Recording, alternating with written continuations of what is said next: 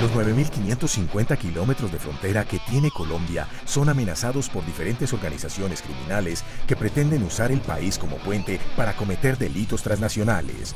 Por ello es necesaria la acción conjunta de todas las fuerzas del Estado. Se trata de una labor necesaria no solo para la preservación de la seguridad del país, sino del hemisferio entero.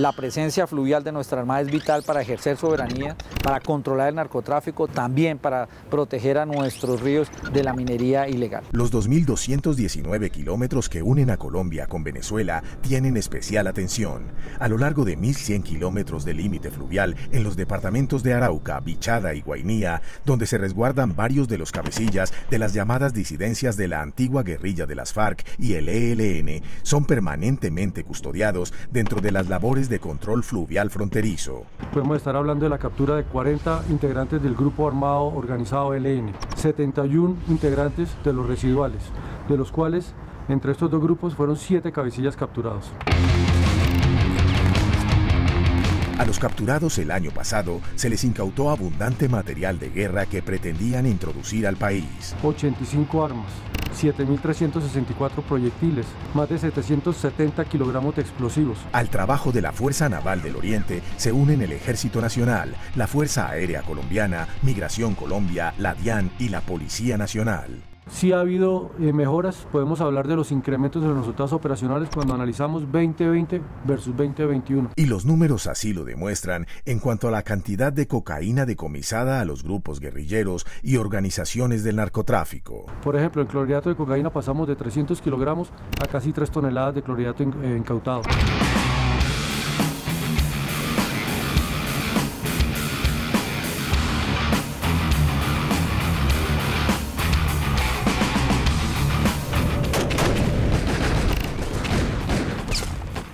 Desde su creación, hace 10 años, la Fuerza Naval del Oriente ha permitido mediante estas acciones que se desarrolle sin alteración alguna encuentros regionales de gobernadores y los nueve alcaldes del área de operaciones para asegurar el impulso de proyectos regionales de desarrollo como el turismo. Además, se han llevado mercados y recreación por parte de la empresa privada para niños, jóvenes y adultos que nunca habían logrado siquiera ver una película de cine. Ver la cara de esos niños disfrutando crispetas, un vaso de gaseosa, viendo una película, no tiene precio.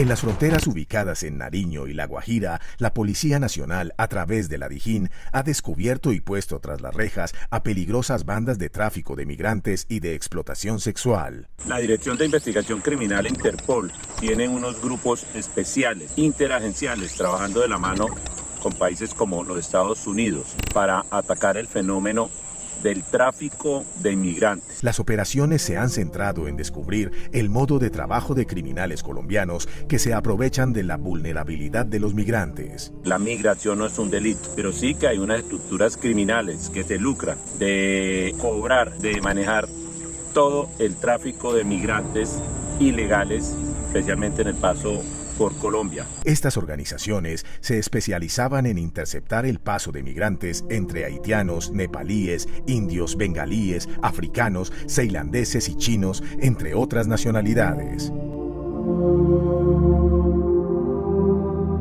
También se han identificado estructuras criminales dedicadas a la trata de personas para explotación sexual y laboral, engañándolos con promesas falsas especialmente mujeres jóvenes de escasos recursos, ofreciéndoles trabajo en el exterior en temas de enfermería o de cuidar personas de la tercera edad. En estos seguimientos a través de interceptaciones de llamadas con orden judicial se pudieron establecer plenamente cómo trabaja cada una de las redes criminales. La moto, a lo bien, maricas, esos maricas me deben 6 millones, güey, 6.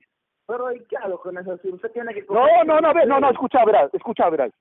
Anda y cógelos y ahorita mismo voy para allá y putas mal paridos, mejor dicho, les hago ver escandela ahorita. Me los voy a llevar a esa otra casa ya. O de esta otra banda que actuaba de manera similar en el Urabá antioqueño. Pensando mucho en esos hindúes.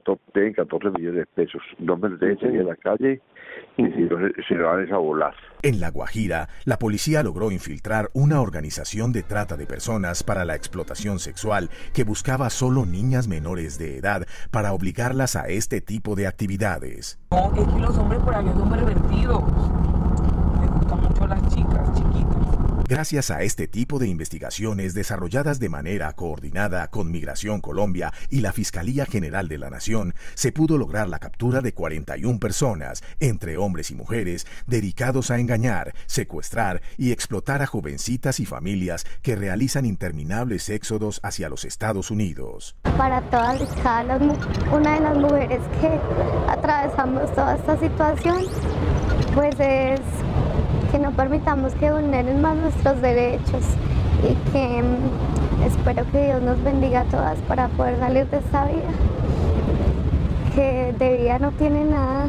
El intercambio de información a nivel internacional ha permitido que este tipo de operaciones se extiendan para poder desarticular los tentáculos criminales de estas organizaciones en las ciudades de destino donde son obligadas a viajar las víctimas mediante engaños. Con esto que estamos logrando integrar capacidades, que la misión se cumpla más rápido, que los efectos que se esperan de la misión sea en el momento, que optimicemos eh, los recursos y que al final los colombianos sean los beneficiados de la seguridad. Con el compromiso y el arrojo para proteger las fronteras colombianas por parte de sus autoridades, es como se construye una operación valor.